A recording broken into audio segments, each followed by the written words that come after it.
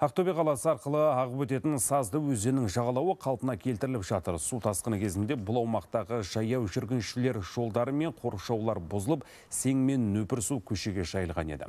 Жөндеу жұмыстары бір ай бұрын басталды. Ол үшін жергілікті бюджеттен 82 миллион теңге бөлінді. Бұл қаржыға қыш тақтайшалары мен жиектастар ауыстырылып, өзен жағалауы бекітілді.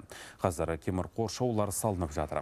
Қалпына келтіру жұмыстары келесі аптаның соңына қарай аяқталуы тиіс. 13 мая приступили к работе. Жұмысты 13 мамыр күні бастадық. 1380 шаршы метр аумақтың тақтайшаларын ауыстырдық. Ал қоршаулардың жалпы ұзындығы 1000 жарым метр шамасында. Сапаға барынша мән береміз. Қазір жұмыстың 80 пайызы аяқталды.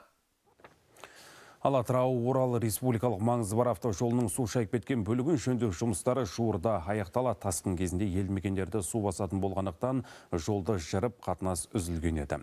Қазір нөпір судың деңгейі төмендеді. Жол пайдалануға берілген соң уақытша тек жеңіл көліктер қатынай алады бұл жолда 12 ә, су өткізгіш құбырлары салынды. Сонымен қатар осы жолдың 56 шақырымында жолдың бетінен қазіргі таңда су өтіп жатыр. Сол суды өтпеу үшін жол бекет жұмыстары жүргізіліп жатыр. Барлық учаскелерде кезекшілік ұйымдастырылған тәулік бойы.